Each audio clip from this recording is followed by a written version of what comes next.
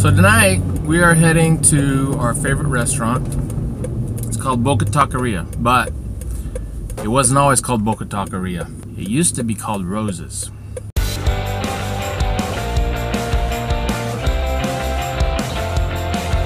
Actually know the guy who started it all. We go to church together. He went on a mission to, I think it was Mexico, and he learned how to cook this really authentic Mexican food. My wife, any other Mexican food restaurant, no matter how authentic it really is, it's not authentic because it's not roses. Well, roses isn't roses anymore either because he sold roses and the people who bought it cheapened it down, blanded it out, and it's just it's not very good. But then he started Tia Roses and that ran for a while, and that was great. Had a nice restaurant, a little taco shop that was in the same parking lot as the restaurant. It was really a nice restaurant. I mean, it almost seemed like a high-end restaurant, even though the prices were pretty reasonable. And the taco shop is uh, very reasonable prices. They had a kitchen fire, and I guess there was some issues with the landlord and the regulations with the city or something like that, and he just he gave up on it.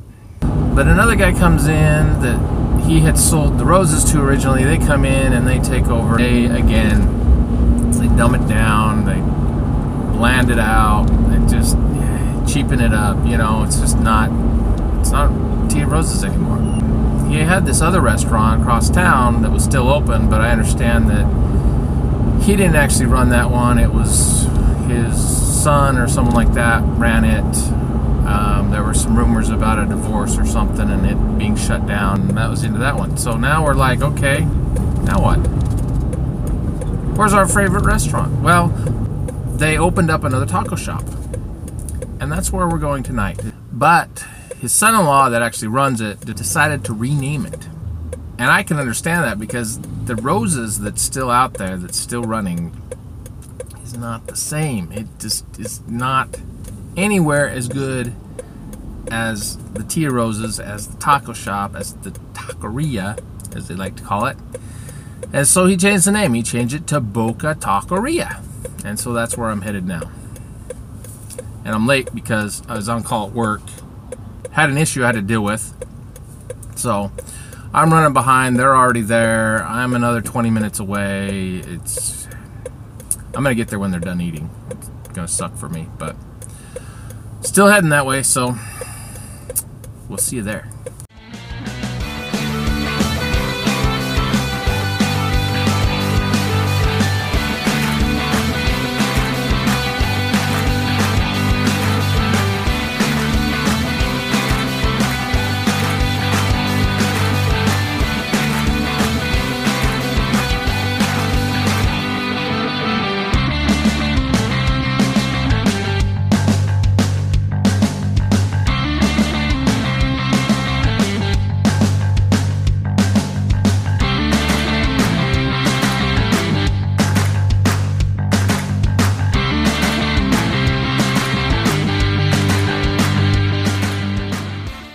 So there's my wife's 4Runner, which is, you know, pretty cool. And then over here, this totally awesome 4Runner.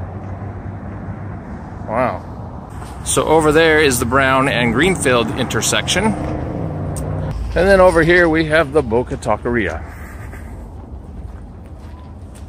where it looks pretty full. Hey, look. Look who's right here. What's up, Jeff? How are you? Good, how are you? Good, look at some meat. Yeah. Is that his new job? And that's Justin. Hello? Hi. What's up?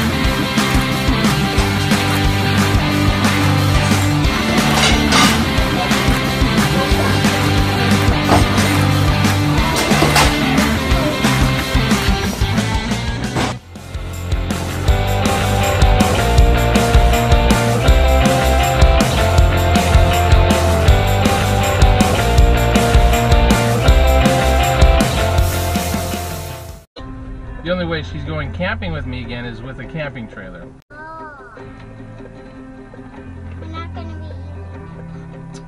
you have to finish that um your trailer and make it a camping trailer. Yep.